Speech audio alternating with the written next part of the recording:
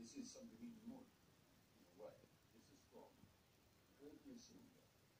Uh, and all you do is just cut two wedges of. As long as the cylinder has, is as long as it is wide, you cut the two wedges, and you can do something again with an expert appearance. Ah, and wedge the door up another level. Really play school with it. Square the triangle. You can do that all of it. That is a square now. as well.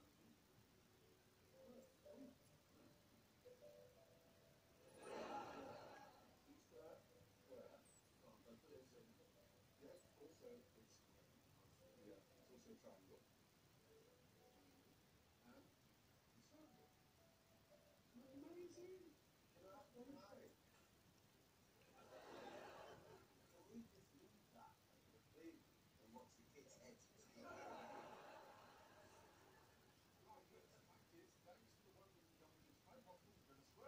circular fit, which brings me round to a hypothetical question.